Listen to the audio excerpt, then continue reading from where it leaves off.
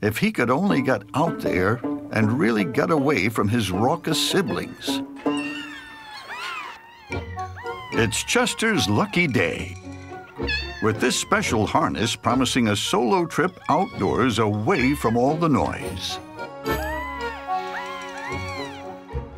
But then again, maybe it's not such a lucky day for this little runt. Apparently, it's a family outing.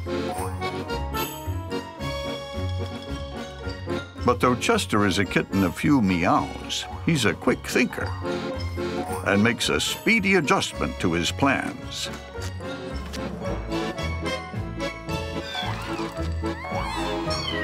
Now it's time for a quiet afternoon in.